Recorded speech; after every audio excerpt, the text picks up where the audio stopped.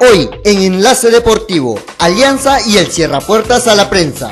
El Puma ruge antes del clásico, el gran capitán. También Víctor Hugo Carrillo, el árbitro del clásico, estuvo con nosotros. Las mamachas listas para la segunda gran final de Pulvito. Y desde Cajamarca, conozcamos a José Pimentel y el Pres de Banca. Voley peruano y una nueva empresa comprometida con su desarrollo. Esto es Enlace Deportivo, todos los deportes, todo el Perú. ¿Qué tal amigos de Enlace Deportivo? ¿Cómo están? Llegamos al día viernes, último día de la semana. Esperamos que todos tengan un lindo fin de semana y con un clásico además.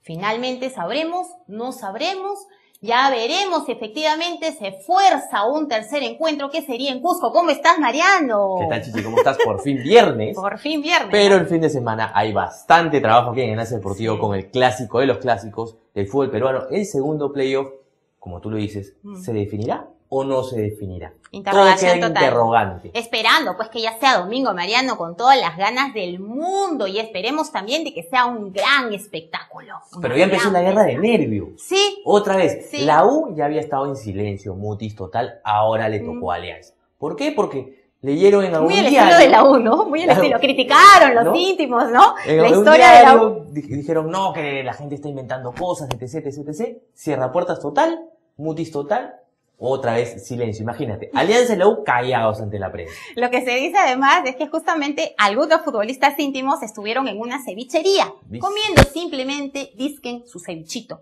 Pero por ahí apareció uno de los clientes que estaba muy cerca de ellos y pues les dijo, oye, ¿ustedes qué hacen acá? Disfrutando, se han perdido. Imagínate. Imagínate, entonces, todo esto, supuestamente la prensa dice que ellos inventaron, entonces este, se ha generado todo este tema y finalmente hoy pues nos dimos con la sorpresa de la puerta de Matute totalmente cerrada en las narices de todos los periodistas. Así que vamos a ver la nota que ha preparado Jorge Bueno sobre este cierra puertas de Alianza Lima. Faltan pocos días para el trascendental clásico en el Monumental.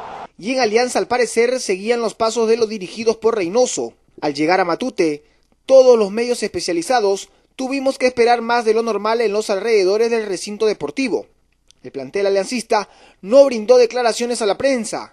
El motivo, lo publicado en dos medios locales sobre el supuesto encuentro de ocho jugadores aliancistas con unas chicas en una cevichería en los alrededores del estadio ya que los jugadores decidieron no declarar, el comando técnico les dio permiso para ir a sus casas, regresando en la noche y evitar el contacto con la prensa. El directivo Héctor Ordóñez explicó lo sucedido y pidió a los directores de estos medios se rectifiquen. poner de que en un, artículo de que, de que les increparon a viva voz gritando y en el desarrollo del artículo sale que dice que le susurraron, es, una, es, es algo absolutamente contradictorio, ¿no? Porque si es a viva voz, no es susurrándole, ¿no? Que decía de que encima que, que pierde trampean, o sea, los jugadores y que la concentración no es rígida. Pero es un tema que se va a arreglar básicamente con los dos directores del diario, todos los demás no tienen absolutamente nada que ver. Alianza Lima siempre les brinda a ustedes la máxima facilidad, ganando o perdiendo. Este, siempre estamos predispuestos a acceder al diálogo y a las entrevistas. El tema muere aquí, ¿ah? por si acaso ya no, mm, este, ya les hice, les hice conocer cuál es la posición, es respetable, porque si, si ponen, por ejemplo, trampean y dan el nombre de ocho jugadores y dice que hay unas chicas, este, hay algunos jugadores de ahí que son casados, tienen novias o enamoradas. Entonces, para ellos no es justo. Ellos han ido a almorzar con seguridad. Y es más, inclusive la misma, la misma, eh, el mismo local donde se produjo este hecho nos hizo llegar la grabación y no, y no, y no se muestra absolutamente nada lo que dice. Y bien, pues el único personaje íntimo que habló fue el directivo Ordóñez, justamente. Hizo una declaración también bien fuerte, Mariano, eh, diciendo, asegurando además de que Universitario de Deportes está presionando a los árbitros, que se mueren de miedo de perder este domingo. Es una denuncia bastante fuerte. Dice que Universitario tiene esta costumbre. ¿Será cierto? Hay que asegurarlo con pruebas, señores. Pero, también, pero también confían, ¿no? Y hay que confiar nosotros también en que efectivamente, pues, Víctor Hugo Carrillo en este encuentro tendrá una gran participación y tiene que ser totalmente imparcial. Vamos a ver qué pasa. Antes de ir con Víctor Hugo Carrillo, que lo tenemos hoy en el programa, vamos a escuchar al Puma José Luis Carranza, ídolo universitario, capitán, jugador de muchos clásicos, que nos tiene siempre algo que decir con respecto a este partido. Veamos la nota. Lo, vivimos intensamente, ¿no? Como si fuera que estuviéramos jugando, ¿no? Porque somos parte de la, de la U, somos gente que de alguna manera hemos cooperado con su reto de arena, ¿no? En, esto de, que es la escuadra de la U, ¿no? ¿Eres los que piensan que el domingo se acaba el campeonato o todavía crees que definitivamente el miércoles es la final? Los partidos se juegan, los partidos se juegan, eh, nosotros somos claros de que todavía nos falta un, un granito más de arena y, y, estamos ahí, ¿no? El resultado que hemos tenido en Matute ha sido muy importante, ¿no? Bueno, tú como referente Universitario de Deportes se habló mucho de ese sistema de rotación de jugadores de Juan Reynoso. ¿Cómo lo viste tú? Ahí están los resultados. Los resultados son los que mandan. Primero fue el diablo, ahora va a ser el ángel porque es así, acá se, invierte rápido los, papeles. Y bueno, ha hecho una buena campaña, él sabrá por qué rota ¿no? todos los jugadores y bueno, ahí están los resultados. Definitivamente Universitario es superior a estas alturas del campeonato. Sí, sí, ustedes lo han visto, ¿no? Han sido superiores y ahí, ahí están los resultados que se ha visto, ¿no? La llamada rotación que he tenido ha sido el, equipo más regular. Eh, Puma, bueno, en tu época también habían, digamos, unos grandes encuentros entre Alianza y Universitario. Eh, ¿Cómo vivías esos clásicos tú en esa época? Intenso, ¿no? Intenso, la gana, el deseo de, llevar siempre, ¿no? Al equipo, ¿no? Adelante, eh, yo no solo, ¿no? Todos los, los exponentes, ¿no? Eh, la U siempre ha sido una familia y ahí están los resultados, ¿no? Que vienen dándose. ¿Te acuerdas de algún clásico, digamos, importante dentro de tu carrera como futbolista? nosotros lo hicimos retirar, ¿no?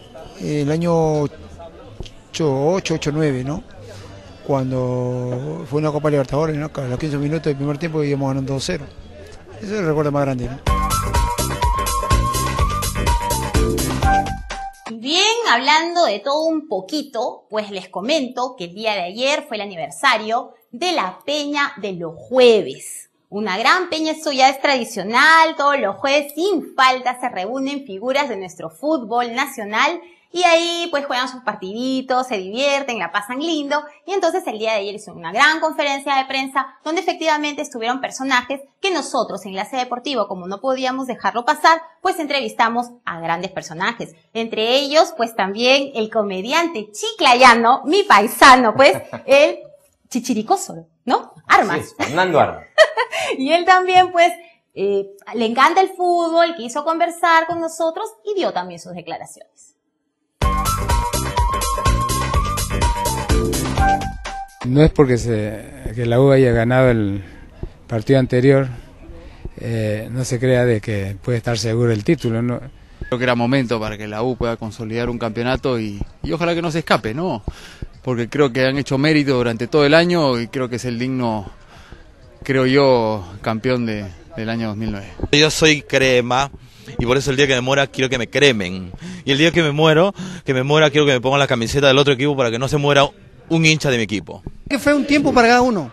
Primer tiempo universitario se, paró mejor, estuvo mejor eh, trato de pelota que Alianza Lima. Alianza en el segundo tiempo yo creo que arriesgó también, porque la condición de local siempre hay que, hay que hacerla respetar.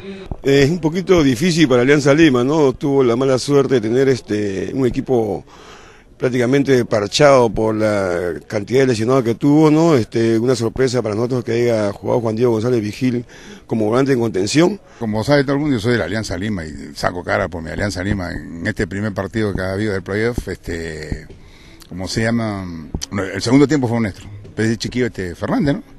El agua agarrado toda, pues han, tenido que entrar con una escalera para bajarlo porque volaba hasta por gusto. Bueno, yo creo que el agua ha hecho un gran avance ganando el partido de visita. Eso va a permitir que los jugadores se entren más tranquilos, eh, sin mucha desesperación. La desesperación va a estar ahora del lado de Alianza, que van a tener que salir a, arriesgar mucho más. Alianza nos iba ganando 2-0 y en el segundo tiempo volteamos el marcador 3-2 y, le ganamos a Alianza. Yo creo que mucha gente que le dolió a, la Alianza, los mismos jugadores que, no pensaban que iba, íbamos a darle vuelta al partido y, fue donde aseguramos prácticamente ya también el título de ese, de ese, año en, ese, en esa época. La Alianza Lima tiene que buscar el individualismo, de otra manera no va a poder este, eh, superar a la U. Si es un triunfo, bueno, lo de la U celebraremos, ¿no? Pero si por ahí eh, no salen las cosas, todavía queda un tercer partido, ¿no? ¿Crees que este domingo se termina ya el campeonato nacional? Tiene que terminarse, ¿no? Porque no es, este, los chicos de la U no quieren estar viajando, ya las fiestas se le acercan, quieren pasarla con la familia. Además, este, hace frío en el Cusco y, mucha altura. Y ya bueno, creo que ahí nomás debe terminar, ¿no? Si tengo un clásico para mí que es inolvidable, fue el que ganamos 2-0 con gol de Letelier. Un gol gol mío, que fue el único gol que he hecho a la Alianza, que fue prácticamente ya el paso para salir campeón, así que eso definitivamente no me lo voy a olvidar nunca. Ojalá que los jugadores crema los puedan aprovechar de tal forma que podamos ganar el campeonato y dar la vuelta olímpica en el Estadio Monumental nada menos. Ahora Alianza no tiene nada que perder, tiene que arriesgar sí o sí y la U tendrá su precaución en el caso para poder este, buscar al menos un empate para poder eh, eh, campeonar, ¿no? pero clásico es clásico y hasta el último minuto no sabemos qué puede pasar. El, saborcito, bueno, para todos los cremas de, gritar eh, la U campeón de nuevo este, está en la mano de ellos y yo sé que el domingo lo van a hacer. Pero como aliancista me siento con confianza, eh, creer de que vamos, vamos a ganar y nos vamos a, definir esto al Cusco, dicen, pero no. Sisiricoso, lo primero Sisiricoso, no sé, primero nos mete uno en la alianza y después nosotros lo volteamos.